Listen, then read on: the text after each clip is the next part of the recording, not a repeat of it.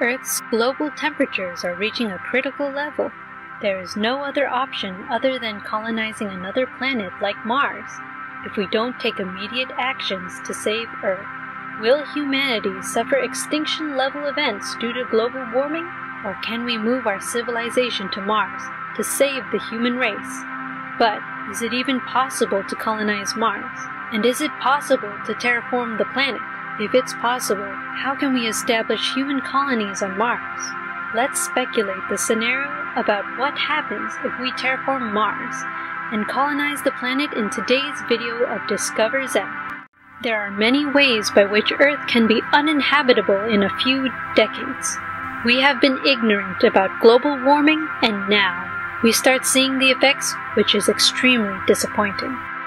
We all know that global warming will leave Earth completely lifeless in the long run, and if we don't take necessary actions to stop it, then there's only one option left for humans to escape complete extinction. And that is to colonize Mars, which is the planet nearest to Earth and can be colonized easily compared to any other planet in our solar system. There are multiple opinions by researchers about how to colonize Mars. Some say that we have to terraform Mars, and some say that we have to establish underground colonies. So let's look up some of the promising ways to terraform Mars. The first few people to land on Mars will have to live inside radiation shielded structures or underground establishments. The first thing we need to do is to get water from the polar ice caps of the planet. The temperature of Mars is very inconsistent. In winter, near the poles, temperatures can reach up into minus 125 degrees Celsius or minus 195 degrees Fahrenheit. A summer day on Mars may get up to 20 degrees Celsius or 70 degrees Fahrenheit near the equator, but at night, the temperature can plummet to minus 73 degrees Celsius or minus 100 degrees Fahrenheit, which is not an inhabitable temperature for humans. There might be a 15 to 20 degree temperature change between where your feet are and where your head is if you are standing on Mars. This is because of the very thin atmosphere of the planet. There are a few theories to heat up Mars' surface. One of them is to nuke near the poles of the planet.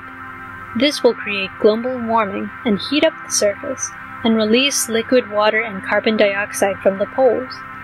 This will also allow us to plant trees and grow the required plants for food to survive. Another theory is regarding a synthetic porous ultralight material known as aerogel. Graphene aerogel is seven times lighter than air and has excellent elasticity and absorption. We can cover the poles of Mars with this material to heat it up to about 65 degrees Celsius or 150 degrees Fahrenheit. This will give us enough temperature to extract water from the poles of the planet. In theory, we have other options too. One is to construct a giant orbital mirror in space to reflect sunlight to the poles of Mars. We can even throw in some ammonia to the planet as ammonia can thicken the atmosphere and raise global temperatures. Ammonia is mostly nitrogen by weight.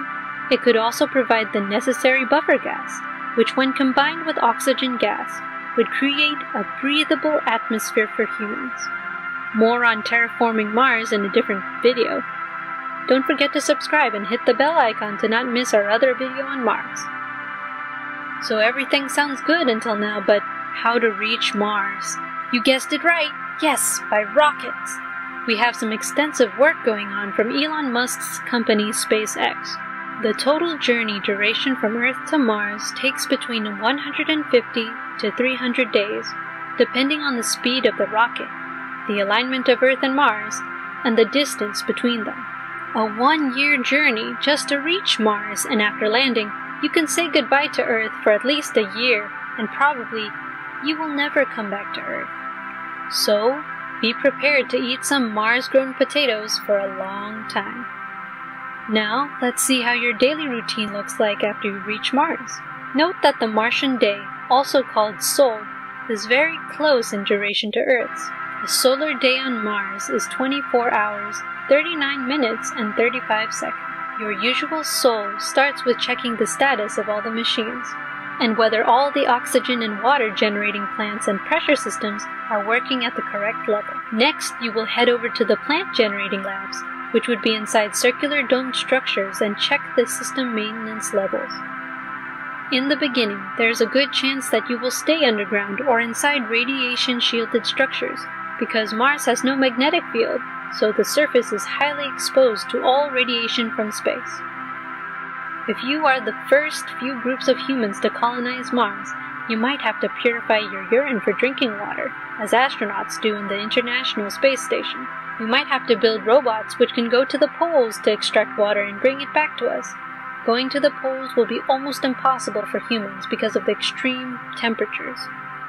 So, we can safely assume that going to Mars will be hard, and surviving there will be a great challenge, but not impossible for humans. But what happens if we establish a moon base? Which will make the Mars trip faster and cheaper as the escape velocity of the moon is very low as compared to Earth. That looks like a different scenario to speculate and investigate in Discover Zen.